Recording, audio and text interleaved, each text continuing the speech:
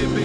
Du derrière bombé. Un lambi piqué, avocat et un ripois collé. J'ai l'extase. Une fois que j'aurai brassé ta cage, t'auras mes courbés. Les chocs de ma taille vont te. Alright, Carter, give us the rundown. Bathurst Cruise. This is shaping up to be like the biggest one I've ever done. Dude, I'm stoked. I think some of our viewers probably won't understand why we have to meet at a United Servo. Why is that? E85, the juice of the gods. the nectar. There's always that guy that has to bring the high-powered GTST.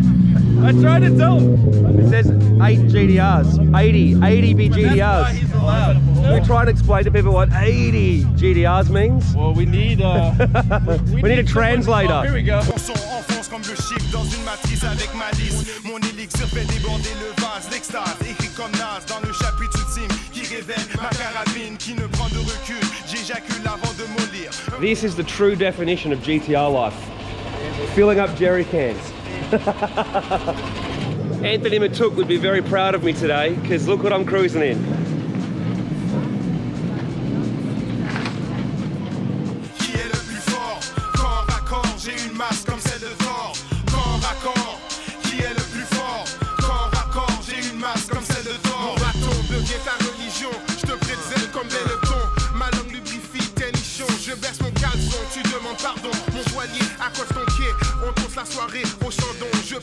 Comme viol de ta matrice, te baptise comme Jean-Baptiste. Te laisse comme une métisse. Ton sanctuaire est grand ouvert, j'ai des degrés comme les maçons. Trouve ta compréhension, comme technique de fournition.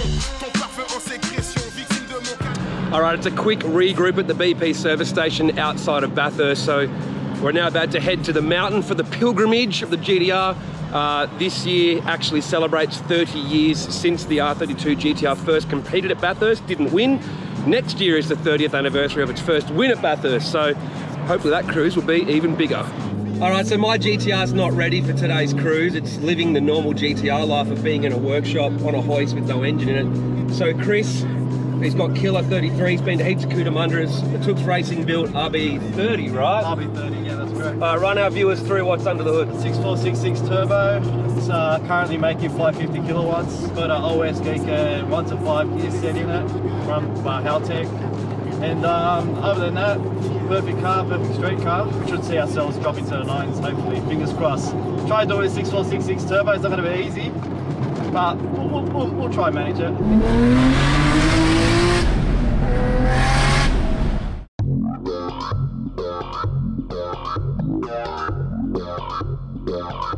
Yeah.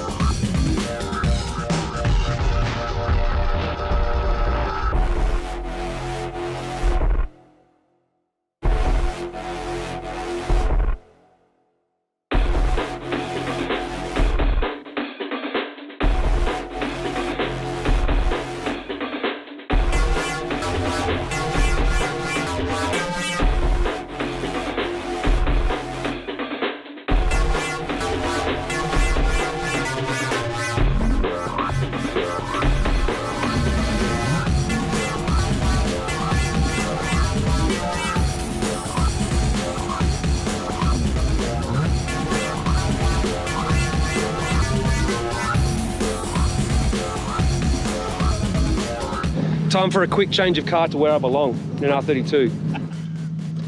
There's no bubble in this dash. This is weird. This is a uh, 94 model R32 GTR. Okay, so there's 81,000 kilometers on the clock. Um, imported about two years ago. It was a grade 4.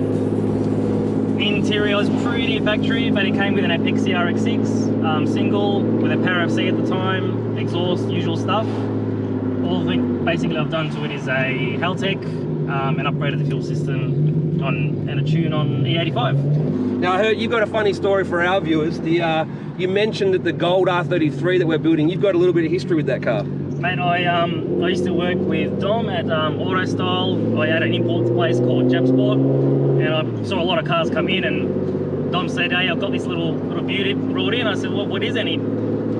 Told me what it is. I went and had a look, and I was like, "What the hell is this thing?" he always used to bring in all some funky stuff. So um, yeah, it was, it was good to it was good to see it again after you posted it. So Were you Hopefully- surprised that it's even still around, or were you more struck by how bad the thing was? You know what? I'm very shocked how bad it was because I remember seeing it when it first came in and it was actually really nicely done. Really clean. After you posted, I was like, who the hell owned this thing? What the hell did they do to it, man? Because it was actually a really nice car when it came in. So, um, you know, all the good jump gear. So hopefully you can revive it back to what it was. All right, it's drink time. Cheers, mate. Cruise well done.